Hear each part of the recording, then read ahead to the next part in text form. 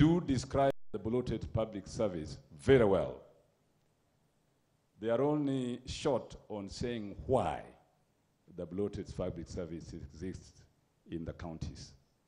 In order to deal with the issue of bloated public service, of a big wage bill, we must explain why the bloated public service is there. First, I think when counties were created by the, by the Constitution of 2010, and then when Parliament, both the Senate and the National Assembly, passed legislation as was prescribed in Schedule 5 to implement the new Constitution.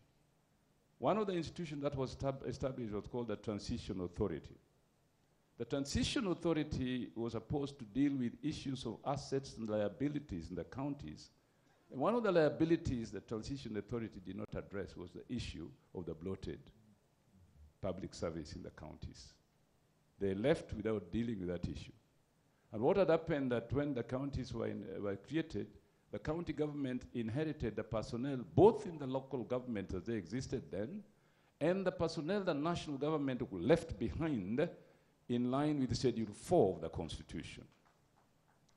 Now, of course, the Treasury on its turn in um, allocating money during the Division of Revenue Bill has never taken attention, paid attention to this phenomenon. Money has been given to the counties as if they are handling a normal public service. I would like to ask the government to look at one important thing. One, that the downsizing of this bloated public service is not a function of the counties only. It must go to the original sin. One, the national government who left bloated public service behind, the local governments who had already bloated public service. And this issue, I think we should look at it as a matter of policy and come out with a solution. Otherwise, it's never going to be solved by the division of revenue bill from year to year. And then after every year, lamentation from the Auditor General as well as the Controller of Budget about it. Those lamentations will not provide solutions. There must be a solution based on explanation of why that broad public services is. I suggest the following. Let us implement contract terms in both the national government and the county governments and run away from these permanent and pensionable terms. It is also the source of the problem we are dealing with.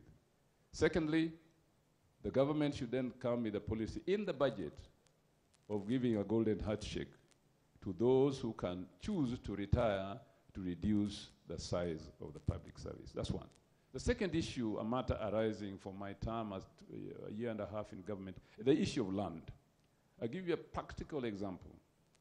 A donor has decided that they are going to give us money in a sub-county hospital called Kombewa to put up a children's hospital.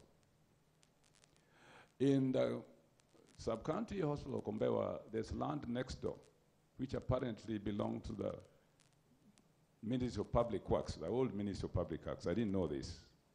So we assumed it was ours. we made arrangement to use it, and then we got a very harsh letter from the parent ministry, that is national government land.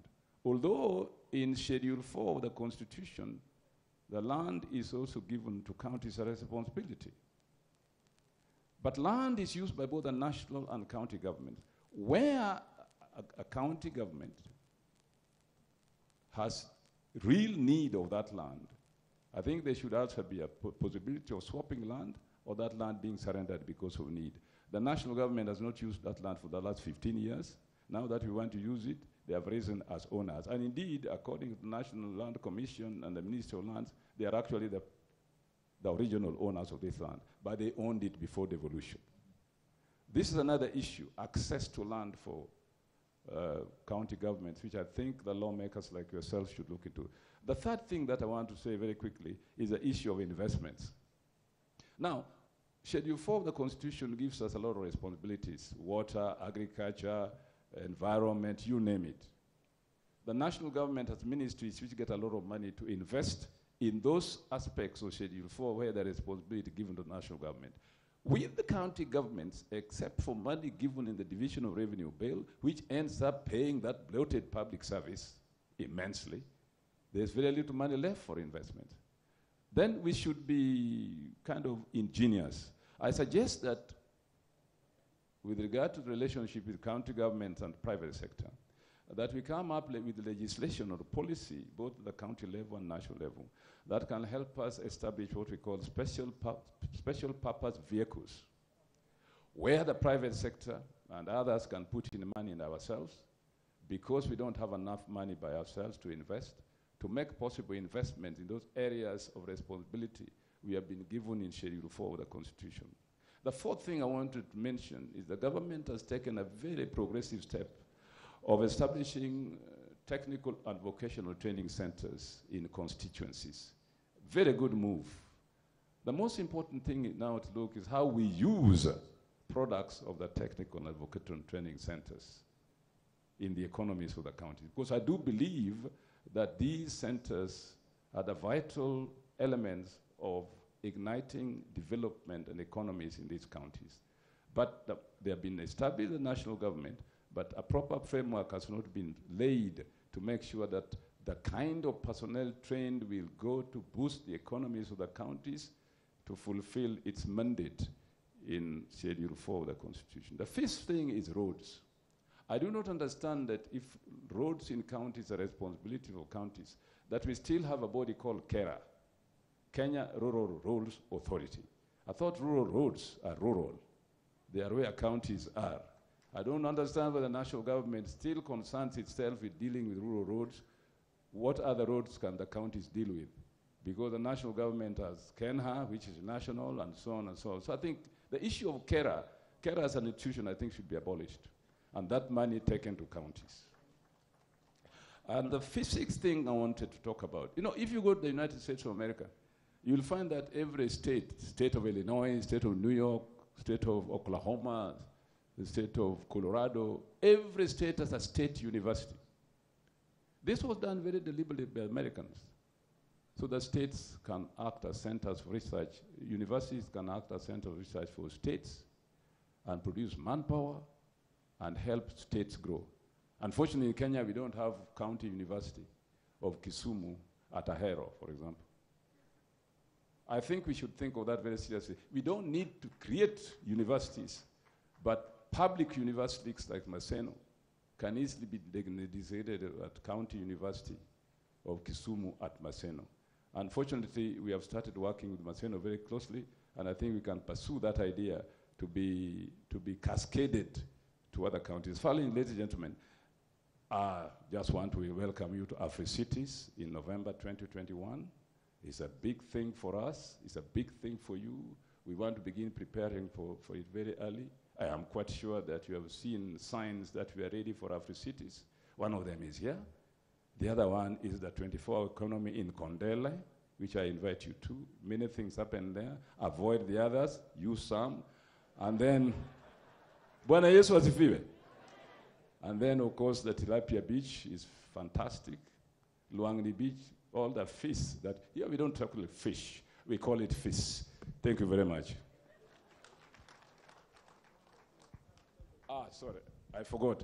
And now it's really my humble responsibility to call my friend Eugene Wamalwa, the PS for Devolution. A CS with, with whom we work very closely. Uh, we have worked very closely in preparing for AfriCities. And he's always welcome to Kisumu um, and always welcome in his office. In fact, we have a joint committee from Kisumu County and the CSS office preparing for this AfriCities. CS, karibu.